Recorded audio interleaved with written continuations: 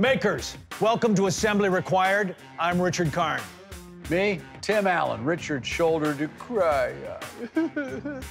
Ruben, get a smaller table. Your head looks like the size of a dime. That is the largest table I've ever seen. I'm overcompensating. My name's Ruben Cubero. I currently live here in Virginia. What are some of my favorite builds? Without a doubt, it's my Thor hammer for sure, and also my power hammer. Nice. I'm the guy that people come to when they can't figure things out. We're gonna be making shark teeth. Uh, it consists of everything from making an electric guitar to making a ice cream cart. I'm looking forward to seeing what you guys are gonna throw at us. My name is Austin Peter and I'm from Marietta, Georgia. Some of my favorite builds aren't necessarily the most complicated builds I've worked on. My favorite build is our chicken coop. There was no blueprint for it. There's a whole wall with a window that we have a pulley system that lets out the chickens. I really want to represent millennials out there that, that have absorbed knowledge and want to show their work ethic. Us young guys got what it takes. All right. All right. But he wants to represent the Yeah. younger people. I like he wants, that. he wants to see how much. Plus, they- I love Georgia. I got family in Georgia, and I like Georgia, so that's kind of cool. Well, it's always on your mind. Wow. You never tried stand-up, did you? What we need from you guys today is a barbecue that can really move. Inside your crates are materials needed to build a barbecue on the go. Having used these materials will test both your ingenuity and your ability. But that's not all. Tim, hit him with it. I threw in two fully functional bicycles. Tear them apart, do whatever you can to make them work for your barbecue on the go. Two wheels, three wheels, four wheels, your call. Show us something new and exciting, a signature design that says flat out, I am the best maker. And you got five days to do this, okay? Okay, gentlemen, your crates have arrived. I'm counting it down now. Three, two, one, run with it. I'm running, I'm running.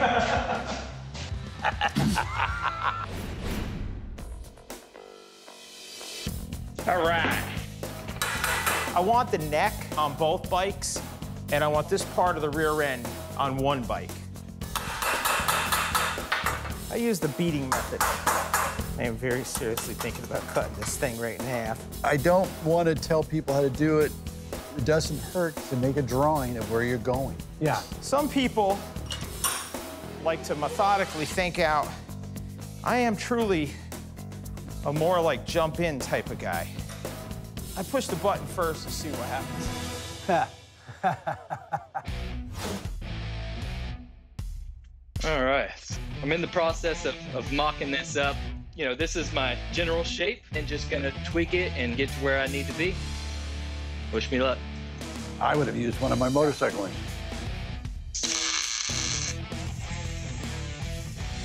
Day one, I, I gotta think through things. And what I know is that I need a frame for the engine to bolt to, for the rear axle to attach to.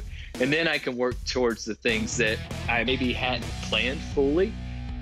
So now it's just working out the nuances eh, that I uh, run into. You know, Tim, it's funny. These two builders could not be more different. I mean, you've got Austin there, who is methodical and slowly thinks everything through, and then you've got the daredevil Ruben, who jumps right in. I tell you, it's going to be interesting to see who comes out on top. I came into this competition wanting to do something different, and I definitely did that. It's my signature. It's got all the things that I wanted.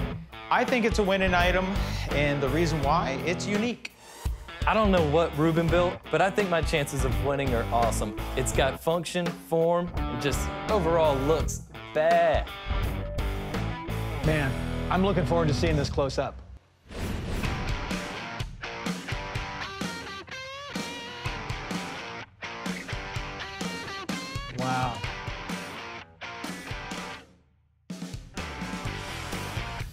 I asked them to build the ultimate barbecue bike, and man, am I impressed. Ruben has created a badass tricycle modeled after an American hot rod with a grill that looks like a V8 motor. I mean, look at these welds. He has incorporated his brazing torch and designed a chain driven steering mechanism with a cool side saddle bag that holds a mini cake. uh, this creation could be toughed out muscle.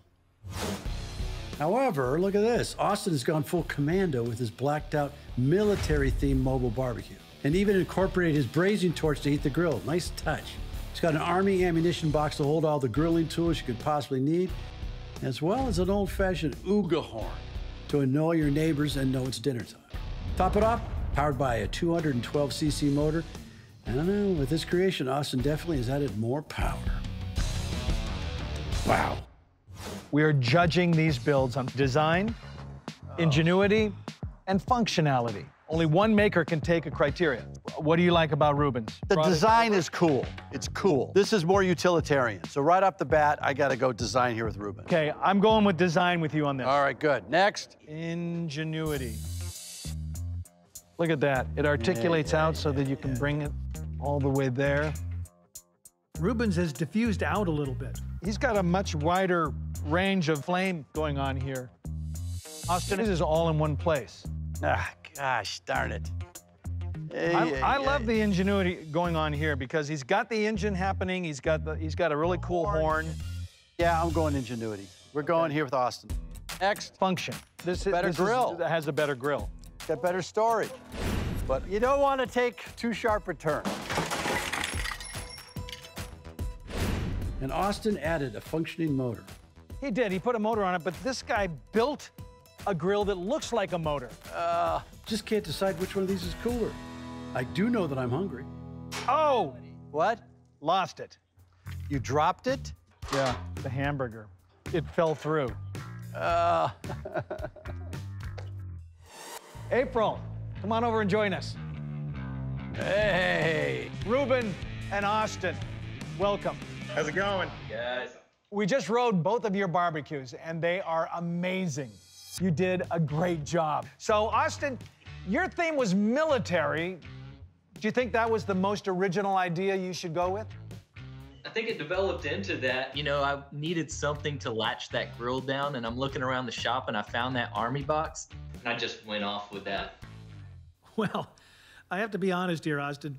When it comes to ingenuity, you scored the most points with that motor. If I saw that at Home Depot, I would buy it. And Ruben, a man after my own heart, a small block engine design for a barbecue, that was a stroke of genius, I'll tell you. Now, just curious, did you ever take any sharp turns in your device? Yeah, yeah, you kind of got to lean into your turns a little bit when you do make them. You might want to mention that when you send it out, when you got a vehicle that's got two canisters of explosive gas. In all seriousness, Ruben, a chain driven steering mechanism, an amazing design. Craftsmanship on the forks and the welds, a thing of beauty. Very original build, Ruben, one of a kind. All right, do you guys want to know who won this? Yes. The maker with the winning barbecue is.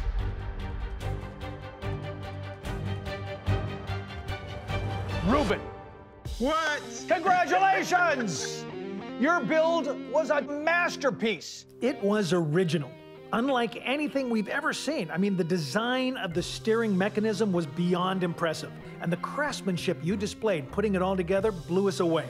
Great job. And you also won $5,000. courtesy of iFixit. They're also going to be sending you this ultimate toolkit. Oh, thank you. Ruben, how do you feel about this? I feel great. I got to tell you something. It's the most stress I ever felt in my entire life. I mean, it was bad. But I got to throw this out. Austin came down to these little tiny details. It was neck and neck, but you made a beautiful barbecue on the go. I really enjoyed my time on Assembly Required. You know, I, I love a challenge, and no one likes losing, but I'm happy for Ruben. Can't wait to see what he built. It was really awesome hearing uh, Tim and Richard say my name at the end. I truly did not expect it. It is stressful. It's not a joke. It, it is real. Once that clock starts ticking, it's game on.